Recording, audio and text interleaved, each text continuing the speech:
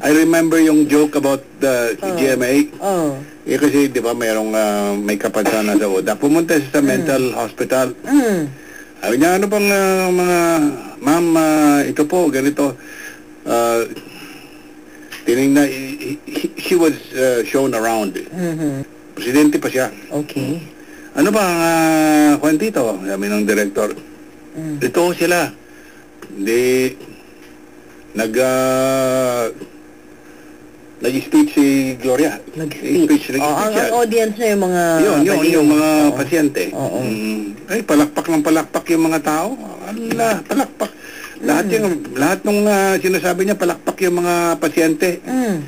Meron siyang na, napansin. Pansin. Oh. Na, andun lang, nakatingin sa sulok at nakakunot pa yung noo eh. Oh, hindi siya Nakakunot yung noo. pumapalakpak. Hindi siya pumapalakpak eh. Mm. Parang, parang galit pa. Oh. Sabi niya, director, sabi niya, ano ba yan?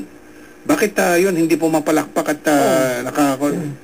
Ma'am, hmm, ay, magaling na ho siya. Meow. Ibig sabihin, naintindihan niya na ano, puro pang ano lang. Ho siya. Ay, naiintindihan na niya. Ayun, na, nanluloko lang si Gloria. Naku naman. Talaga naman. Mm.